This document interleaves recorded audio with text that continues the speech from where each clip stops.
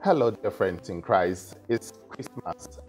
We are still in the season of joy. Today is the last Sunday of 2018. Glory be to God. He has been faithful. No matter what happened during the year, God has been faithful.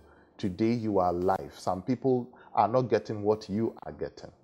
And so I'm here to talk to you about something that will make you appear grateful in the presence of God.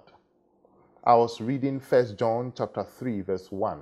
He says, "Beloved, see what love the Father has bestowed on us by calling us his children."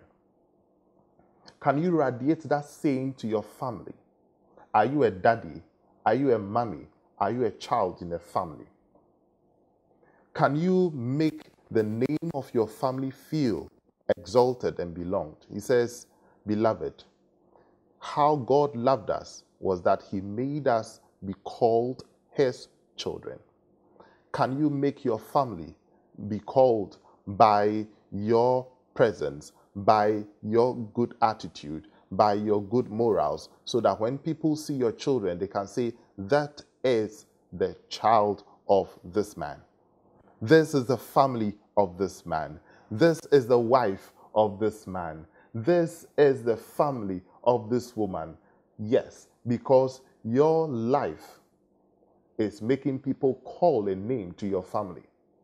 Today, on the last day, I want you to bring back your family. Hold them and pray with them so that God will transform you in the coming year. If there were some hitches in your family life this year.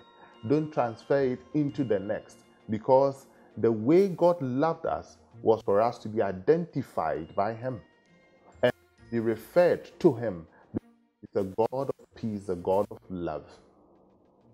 Can your morality, your attitude, your behavior make people associate you with a family?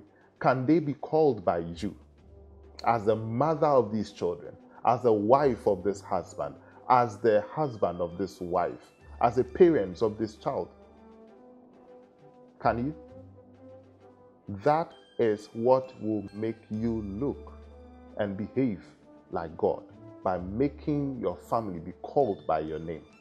That is how God loved us. I beckon you, bring the family together. Let us be called by you, by your attitude, by your good morals, so that in 2019, as we just about entering, I believe that God will see that you are just behaving like Him and will bless you and bless your family. The Bible says He blesses families and not individuals. He's going to bless you and your family. He will bless you to a fourth generation. And may you and your family never lack because you be called by a unique name. God called you His Son. And may you and your family be called by a precious name. A family of peace, a family of love, a family of joy, a family of harmony, a family of unity. May that be the name of your family because you are going to initiate it.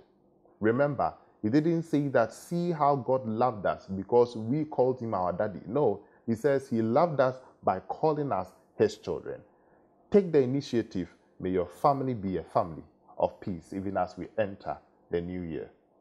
God bless you, and may the peace of God reign in your life and in your family. Shalom.